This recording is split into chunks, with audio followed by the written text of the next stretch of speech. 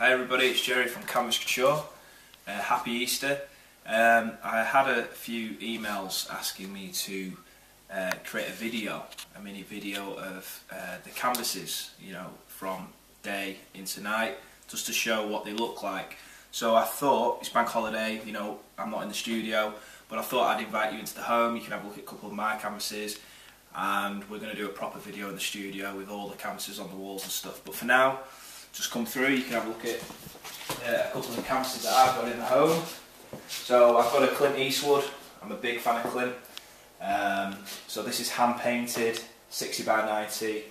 Uh, just fits on fits on your wall. It's a LUNA canvas. Looks great at night time. So I'll just turn the light off. Okay, here it goes. And it just plugs into the, the, the socket on the wall. You just turn it on like that. And it looks great. So you can have your friends round, chilling out, watching, watching TV or whatever. It's fantastic. Um, so visit the website at canvas-couture.co.uk. We've got a whole bunch of these, uh, you know, different paintings that the artists that we employ uh, paint for us. Uh, but if you've got a, a request or you've got a, an image you'd like us to create, you can always just drop us an email as well.